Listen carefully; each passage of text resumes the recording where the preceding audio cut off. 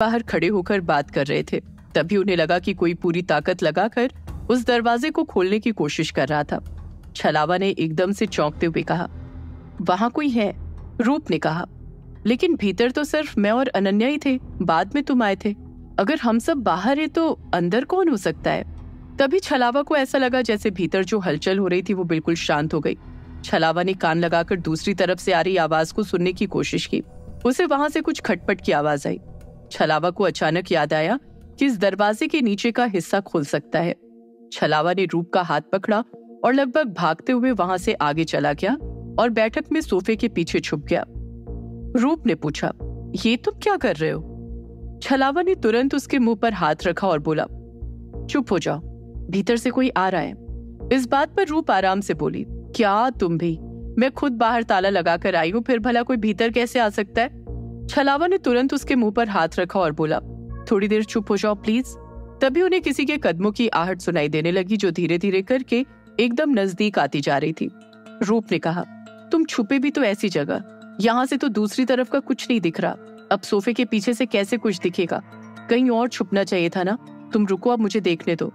इतना कहकर जैसे ही रूप अपना सिर ऊपर उठाने लगी, तभी छलावा ने तुरंत उसे नीचे खींचा और दबी आवाज़ में बोला तुम थोड़ी देर चुपचाप बैठने का क्या लोगी रूप मुस्कुराते हुए बोली, तुम्हारा थोड़ा सा टाइम जो आजकल तुम मुझे बिल्कुल नहीं देना चाहते। इस बात पर छलावा शर्माता हुआ इधर उधर देखने लगा। ये देखकर रूप ने कहा, अरे देखो तो तुम शर्माते हुए कितने प्यारे लगते हो। इससे पहले कि छलावा रूप की बातों का कुछ जवाब दे पाता, उन्हें एकदम से लगा कि कदमों की आहट उनके बिल्कुल नज़दीक आ गई है। छलावा धीरे धीरे खिसकता हुआ सोफे के कोने तक गया और जरा सा अपना सिर बाहर निकाल कर देखने की कोशिश करने लगा कि दूसरी तरफ़ कौन खड़ा है। दूसरी तरफ़ जो भी था, उसे देखकर छलावा हैरान रह गया। उसने देखा कि उस इंसान ने अपने आप को एक गंदी सी चादर से ढक रखा था और एकदम दबे पाँव बाहर कमरे से निकलने की कोशिश कर रहा था। लेकिन वो चेक करना चाहता था कि दूसरी तरफ़ कहीं कोई था तो नहीं। अभी छलावा छिप ही रहा था कि रूप ने एकदम से पूछा, कौन है बाहर? रूप ने अनजाने में इतनी ज़ोर से बोल दिया था कि दूसरी तरफ़ जो भी था उसे ये आवाज़ सुनाई दे चुकी थी। जब तक छलावा रूप का मुँह बंद करता, तब तक वो पीछे पलटकर सोफे तक आ चुका था और चारों तरफ़ देखने लगा। छलावा और रूप एकदम से सांस रोककर दुब के बैठे थे, तभी किसी ने छलावा के सिर पर हल्की सी चपत लगाई। छलावा एकदम से चौंकते हुए ऊपर देखने लगा और हैरानी से बोला, ध्रुव, तुम हो? ध्रुव ने अपने होठों पर उंगली रखी और बोला हीरे बोलो, चिल्ला क्यों रहे हो? और तुम दोनों यहाँ क्या कर रहे हो? तुम दोनों को रोमांस करने के लिए और कोई जगह नहीं मिली क्या? ये कोई वक्त है रोमांस करने का? इससे पहले छलावा कुछ कहता रूप ने कहा, वही तो मैं छलावा को समझा रही थी। ये कोई जगह और वक्त है, लेकिन ये समझता ही नहीं है। छलावा ने रूप को घूर कर देखा और ध्रुव से बोला, बंद करो अपनी बकवास, मैं तुम्हें ढूँढने यहाँ तक आया था।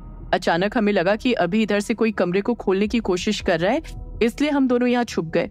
ये देखने के लिए कि वहाँ कौन था, लेकिन वो तो तुम थे। ध्रुव ने कहा हाँ वो मैं ही था। छलावा बोला लेकिन तुम भीतर कैसे गए? मेरा मतलब ये दरवाज़ा नीचे से खुलता है या सिर्फ़ अंदर से? बाहर से तो ये ऐसे नहीं खुलता। तो आखिर तुम भीतर गए कैसे? क्योंकि रूप ने तो कहा था कि जब उसने ताला खोला तो उसने तुम्हें आते हुए नहीं देखा। ध्रुव ने कहा, ये सब छोड़ो। मुझे हवेली में कुछ ऐसी बातें पता चली है जो बहुत शॉकिंग है। लेकिन अभी सबसे पहले हमें यहाँ से निकलना होगा, बाद में मैं तुम लोगों को सब कुछ बताऊँगा।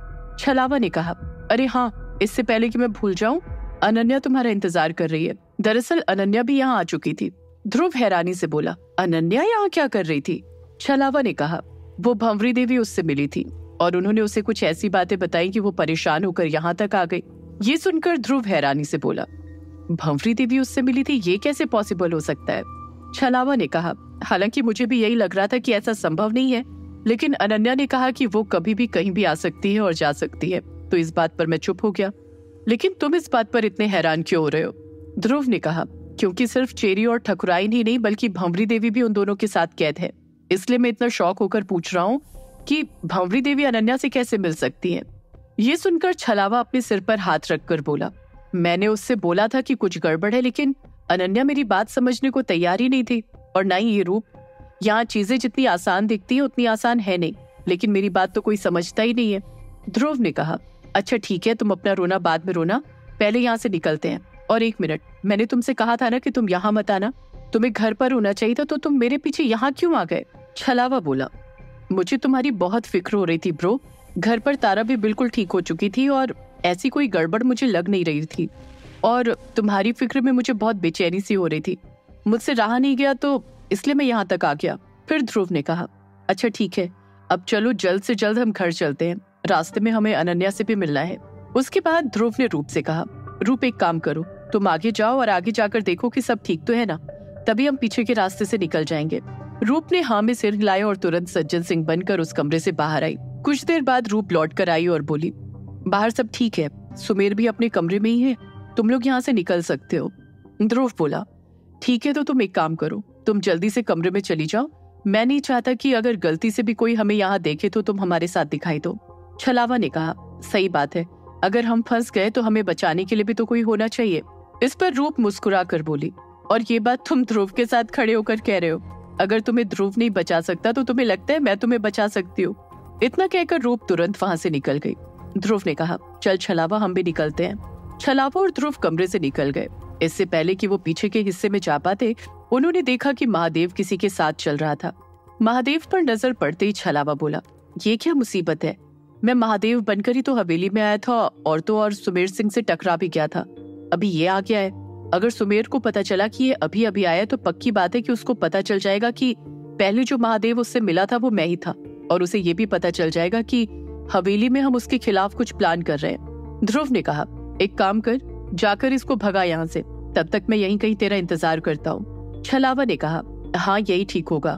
क्योंकि इसका सुमेर से मिलना मतलब अपने ही पैर पर कुल्हाड़ी मारना होगा। इतना कहते हुए छलावा ने तुरंत सुमेर का भेज लिया और जिस तरफ़ से महादेव आ रहा था, उधर चला गया। सुमेर को देखते ही महादेव ने अपने साथ खड़े उस आदमी से कहा, ठीक है भैया, तुम जाओ, अपना काम देखो, हम तुमसे बाद में मिलते हैं। महादेव ने इतना कहा और वो आदमी वहाँ से चला गया। फिर महादेव सुमेर से बोला, मुझे पता था मालिक, आपको नींद नहीं आ रही होगी। आपने जो काम करने मुझे भेजा था, वो मैं कर आया हूँ। अनन्या से मिलने तो कोई नहीं आया, लेकिन अनन्या पता नहीं क्यों बार बार उस कुएँ वाले हिस्से में आ जा रही थी। ये सुनकर सुमेर बना छलावा चुपचाप महादेव की तरफ़ देखता रहा। ये देखकर महादेव बोला, क्या हुआ मालिक? हमसे कुछ गलती हुई है क्या? आप हमें ऐसे क्यों देख रहे हो? सुमेर ने उसके कंधे पर हाथ रखा और उसकी आँखों में देखने लगा, जिसकी वजह से महादेव को अपनी पलके भारी होती हुई महसूस हुई और धीरे धीरे करके उसका दिमाग खाली होने लगा। उसे ऐसा लगने लगा जैसे पिछले कुछ घंटों में जो कुछ भी हुआ वो उसे भूलने लगा था और उसके दिमाग में कुछ नई चीज़ चलने लगी थी।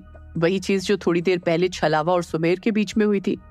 छलावा ये इसलिए कर रहा था ताकि कल को अगर सुमेर इस तरह की कोई बात छेड़े तो महादेव इनकार न करे, बल्कि महादेव को यही लगे कि वो सारी चीज़ें वाकई में महादेव के साथ हुई थी। एक तरफ़ जहाँ छलावा महादेव के दिमाग से वो सारी चीज़ें हटा रहा था और कुछ नई यादें जोड़ रहा था, वहीं दूसरी तरफ़ ध्रुव सुमेर के कमरे के बाहर ही एक खम्बे के पीछे खड़ा था। तभी सुमेर के कमरे में उसका मोबाइल बचा। ध्रुव ने अपने आप से कहा, इतनी रात में इसे कौन फ़ोन कर रहा है? ना तो इसकी कोई प्रेमिका है, ना कोई बीवी। ऐसे आदमी को भला कौन रात को याद कर सकता है? कुछ रिंग के बाद सुमेर की आवाज़ आई। हेलो? और जैसे ही सुमेर ने हेलो कहा, दूसरी तरफ़ जो कोई भी रहा होगा, उसकी आवाज़ सुनकर सुमेर एकदम सतर्क हो गया। सुमेर की आवाज़ सुनकर ऐसा लग ही नहीं रहा था कि वो नींद में था। ये सुनकर ध्रुव को कुछ शक हुआ। ध्रुव अपने मन में बोला, इस तरह से ये किससे बात कर रहा है? जिस तरह से ये अचानक से सीरियस हुआ है, ऐसा लग तो नहीं रहा कि ये इंसान या फिर उसकी बात पॉलिटिक्स से जुड़ी हो सकती है? आखिर ये फ़ोन पर बात किससे कर रहा है? ध्रुव ने इधर उधर देखा और धीरे से बढ़ता हुआ सुमेर के कमरे की खिड़की के पास चला गया और झुककर खड़ा हो गया, ताकि उसे सुमेर की बातें स्पष्ट सुनाई दे सके। सुमेर के बोलने की स्पीड थोड़ी सी कम हो गई थी। वो दबी हुई आवाज़ में फ़ोन पर बात करने लगा, जिसे सुन पाना बहुत मुश्किल था। ध्रुव बोला, अरे थोड़ा सा वॉल्यूम बढ़ाओ, कुछ सुनाई नहीं दे रहा है। जब ध्रुव सुमेर की बात सुनने की कोशिश कर रहा था, तभी अचानक से उसके कंधे पर थपकी पड़ी।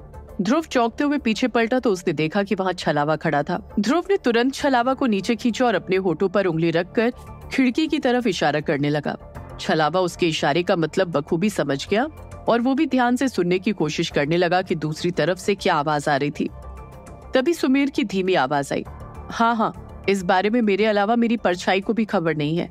मैंने इस बारे में किसी से कोई ज़िक्र नहीं किया है। मैं इन सारी बातों से उतना ही अनजान हूँ जितना कि वो ध्रुव और उसकी पूरी पलटन है। किसी को कुछ नहीं पता कि इन सबके पीछे किसका हाथ है, लेकिन मुझे ये समझ में नहीं आ रहा है कि आपको मेरे बारे में कहाँ से खबर मिली। और आप ये सब आखिर कर क्यों रहे हैं?